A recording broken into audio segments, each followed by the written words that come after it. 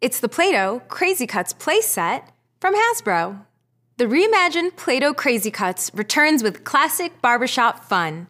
Load your Play Doh brand modeling compound into one of three character thimbles. Slide the character into the barber's chair, then turn the crank and watch as it grows funky Play Doh hair. Cut the Play Doh hair with one of the cutting tools, or use a hair mold to give your character a stylish new do. When you're ready to change characters, turn the crank in a counterclockwise direction until you hear a click.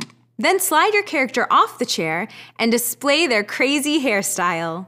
The Play Doh Crazy Cuts playset is for kids ages 3 and up and includes 3 character thimbles, 2 book molds, 4 accessory tools, and 6 cans of Play Doh modeling compound.